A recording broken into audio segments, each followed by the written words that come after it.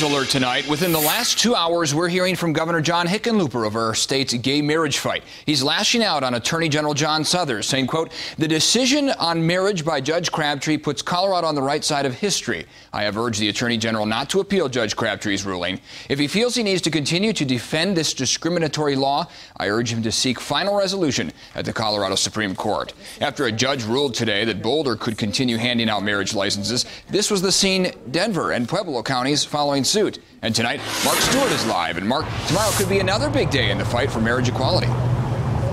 Eric, without question, the next 24 hours really could be critical, and for two reasons. One, we could see the Attorney General take some kind of legal action, and two, we could see even more counties start to hand out the same sex licenses. I am very happy. I'm thrilled. I cannot believe it's finally happening. A walk down the hall, E-E-N? leading to a trip down the aisle. I do. As Kel on the left and Adam on the right. We have a, an officiant with us and everything. become one of the first same sex couples in Denver County to get a marriage certificate.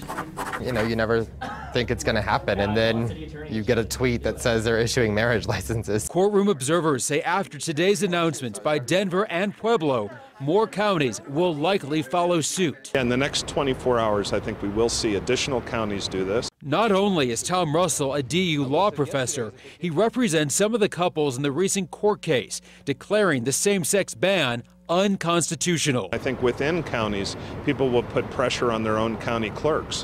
Why should someone in uh, a particular county have to drive to Denver or Boulder in order to get a marriage license? Oh, here we go. Fancy arches. A two year relationship culminating with a ceremony I do. I do. and this legal document Oh, thanks. that Adam and Kel hope will soon be common in every Colorado county. 17 certificates issued today here in Denver, including one couple who drove all the way from Colorado Springs to get one. We're live in Denver tonight. Mark Stewart, 7 News.